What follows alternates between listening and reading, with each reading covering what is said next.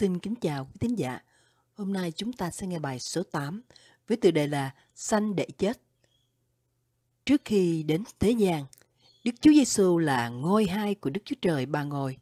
Điều này có nghĩa là Ngài có từ trước muôn vật hiện hữu trong vũ trụ này. Sứ đồ Phaolô cho biết, Ngài vốn có hình Đức Chúa Trời, song chẳng coi sự bình đẳng mình với Đức Chúa Trời là sự nên nắm giữ. Philip đoạn 2 câu 6 Nhưng đến một thời điểm trong chương trình cứu rỗi loài người của Đức Chúa Trời, thời điểm lịch sử đó của nhân loại, thì chính Ngài từ bỏ mình đi, lấy hình tôi tớ và trở nên giống như loài người. Ngài đã hiện ra như một người tự hạ mình xuống, vân phục, chờ đến chết, thậm chí chết trên cây thập tự. Philip đoạn 2 từ câu 7 đến câu 8. Ngôi hai Thiên Chúa lìa thiên đàng vinh hiển đến thế gian trong hình hài của một hài nhi sinh bởi nữ đồng trinh Mary. Ngài lớn lên trong thế giới loài người, trải qua những vui buồn khó khăn, thử thách, cám dỗ như một người bình thường trên trần thế. Sau đó, Ngài đi rao giảng tin lành của nước trời và bị những người Do Thái chống đối, bắt bớ, vưu oan. Rồi họ lập mưu tố cáo, kiện tụng Ngài với chính quyền La Mã, đòi đóng đinh Ngài trên thập tự giá. Chúa Giêsu không chỉ đến trong thế gian để sống và dạy cho nhân thế những bài học đạo đức quý giá hay làm gương cho nhân thế, nhưng Ngài đã đến trong thế giới loài người để chết thay cho bản án tội lỗi của mỗi con người chúng ta. Ngài là chiên con đã được dùng làm sinh tế, như những sinh tế trong những sinh lễ của thời cựu ước. Chúng ta hãy cùng nghiên cứu phân đoạn này của sách Phúc Âm rằng để tìm hiểu về chương trình cứu rỗi của Đức Chúa Trời và cách đối xử của người thế gian đối với đấng cứu rỗi của họ. Phần 1 La Mã, sự tò mò. Thời gian này là vào mùa lễ vượt qua của dân Do Thái. Hàng vạn người từ khắp nơi trên thế giới tụ tập về đây để dự lễ. Trước đó vài ngày, Chúa Giêsu đã cởi lừa vào thành Jerusalem trong sự hoan hô chào đón nồng nhiệt, đầy vinh hiển. Dân chúng đã cởi áo, cắt nhánh trà là, lót đường để đón tiếp Chúa Giêsu và họ tung hô rằng Hosanna, chúc phước cho đấng nhân danh Chúa mà đến, là vua của dân Israel. Răng đoạn 12 câu 13b. Sứ đồ rằng cũng kể cho chúng ta biết rằng có mấy người Hy Lạp trong những người hành hương đến Jerusalem dự đại lễ vượt qua cũng muốn xin các môn đồ gặp Chúa Giêsu. Sứ đồ rằng không cho biết lý do. Có lẽ họ đã nghe nhiều phép lạ Chúa Giêsu đã thực hiện cho người Do Thái, nên muốn tìm gặp để chiêm bái Ngài. Cũng có thể do tò mò mà họ muốn tìm gặp Chúa Giêsu. Hoặc những người Hy Lạp này có lẽ là những người đã theo do Thái giáo, nhưng họ vẫn thấy sự trống rỗng của một tôn giáo chỉ toàn hình thức, đầy những lễ nghi bên ngoài mà không có sự thỏa lòng, nên họ đã tìm đến Chúa Giêsu.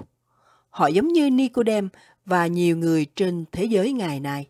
Họ có tôn giáo, theo một tôn giáo, tìm mọi thú vui của cải, vật chất trên trần thế, nhưng tâm hồn vẫn trống rỗng. Không tìm thấy được sự thỏa lòng, bình an và vui vẻ, nên họ tìm kiếm đến đấng có ơn và quyền phép mà họ đang nghe rất nhiều người đồn đại, đó là Chúa Giêsu. Đấng đã từng kêu gọi mọi người rằng nếu người nào khác hãy đến cùng ta mà uống. Kẻ nào tin ta thì sông nước hàng sóng sẽ chảy từ trong lòng mình, y như Kinh Thánh đã chép vậy. Răng đoạn 7 từ câu 37b đến câu 38. Tất cả những thứ hữu hình, hữu hoại của thế gian xưa nay không thể nào đem đến sự thỏa lòng cho con người. Đôi khi còn gán thêm sự đau lòng và buồn khổ. Sứ đồ Phaolô đã khuyên các tín hữu tại thành phố Colosse rằng hãy tìm các sự ở trên trời là nơi đấng Christ ngồi bên hữu Đức Chúa Trời. trong Colosse đoạn 3, câu 1b. Người Hy Lạp tìm đến sứ đồ Philip xin rằng, Thưa Chúa, chúng tôi muốn ra mắt Chúa Giêsu. Câu 21b.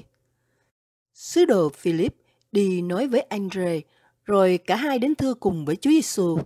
Một điều chúng ta cần phải suy gẫm là khi con người tội lỗi muốn tìm đến Chúa Giêsu, họ không có đủ sự hiểu biết để thông hiểu lời Ngài qua Kinh Thánh. Bởi vì họ đang ở trong bóng tối. Họ không đủ sáng suốt để nhận thấy những sự khải thị của Đức Chúa Trời qua thiên nhiên, bởi vì mắt tâm linh họ chưa được mở. Nhưng cảm ơn Chúa, bởi vì chính lời Chúa Giêsu dạy bảo sôi dẫn các môn đồ con cái Ngài. Qua đó, họ chỉ còn biết nhìn vào đời sống của người cơ đốc, mong muốn tìm đến Chúa. Nhưng nhiều người cơ đốc lại không phản ảnh được chính Chúa Giêsu qua đời sống họ, gây nên sự thất vọng não nề khi người thế gian tìm đến với tinh lành cứu rỗi. Một ông tín đồ nọ làm chứng giữa hội thánh rằng khi lập gia đình với bà thì ông chưa tin Chúa, nhưng vợ ông cứ trung tín cầu nguyện cho ông có được sự cứu rỗi. Cho đến một ngày kia, ông phải công nhận có sự khác biệt giữa đời sống của vợ ông và những người khác xung quanh. Ông thèm muốn chính mình cũng có được những đức tính tốt của người vợ. Rồi một thời gian sau đó, ông quyết định theo bà đi nhà thờ và cũng đã quyết định tiếp nhận Chúa Giêsu làm cứu Chúa của ông. Mong rằng nhiều người trong chúng ta cũng sẽ như sứ đồ Philip, đem nhiều người xung quanh chúng ta nhận biết và đến cùng Chúa Giêsu. Không những chỉ có người Hy Lạp mà là tất cả mọi dân tộc trên thế gian đến với cứu Chúa để được tha thứ tội lỗi và trở lại thuận hòa với Đức Chúa Trời. Ước mong kết cuộc của mọi người chúng ta là những người đã được Chúa Giêsu cứu thì có thể phản ảnh được Chúa Giêsu qua đời sống chúng ta và đồng thanh với sứ đồ Phaolô nói rằng, vì đấng Christ là sự sống của tôi và sự chết đều là ích lợi cho tôi vậy. Philip đoạn 1 câu 21 Phần 2 La Mã, thập tự giá Chúa Giêsu phán cùng họ rằng, giờ đã đến khi con người sẽ được vinh hiển. Câu 23 Chúa Giêsu sẽ được vinh hiển thế nào? Qua sự thương khó và chịu chết của Ngài. Chúa Giêsu đang nhìn thấy sự thương khó trên thập tự giá trong những ngày sắp tới. Nhưng Chúa cũng nhìn thấy được sự vinh hiển qua sự chết của Ngài. Ngày này, danh Chúa Giêsu là danh trên muôn danh, sứ đồ Phaolô nói, cũng vì đó nên Đức Chúa Trời đã đem Ngài lên rất cao và ban cho Ngài danh trên hết mọi danh.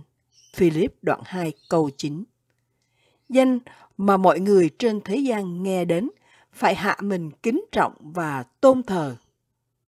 Sứ đồ Phaolô cũng nói thế này, hầu cho nghe đến danh Đức Chúa Giêsu, mỗi đầu gối trên trời, dưới đất, bền dưới đất, thảy đều quỳ xuống và mọi lưỡi thảy đều xưng Giêsu Christ là Chúa, mà tôn vinh Đức Chúa Trời là Đức Chúa Cha. Philip đoạn 2, từ câu 10 đến câu 11. Nhưng mọi sự vinh hiển đó sẽ không xảy ra cho đến khi Ngài bị người Do Thái bắt bớ, sỉ nhục, vu oan, tố cáo để bị đóng đinh trên cây thập tự.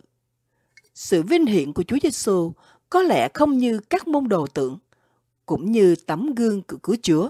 Sứ đồ Phaolô luôn hướng về sự vinh hiển trong ngày tương lai, ngày vượt qua những khó khăn, đau đớn, hoạn nạn của cuộc đời này. Ông nói, vả, tôi tưởng rằng những sự đau đớn bây giờ chẳng đáng so sánh với sự vinh hiển hầu đến là sự sẽ được bày ra trong chúng ta. Roma đoạn 8 câu 18 Chương trình đọc sách giảng giải phúc âm của Hội Thánh Tinh Lành Liên Hiệp Đà Ra xin tạm ngừng tại đây. Xin mời quý thính giả đón nghe phần tiếp theo trong kỳ tới. Mọi ý kiến đóng góp xin gửi về email daraunitinchurch.a.gmail.com hoặc bình luận trên Facebook Hội Thánh Tinh Lành Liên Hiệp Đà Ra. Nguyện xin Chúa ban cho quý vị sự tươi mới mỗi ngày – trong hành trình theo Chúa. Xin chào thân ái và hẹn gặp lại.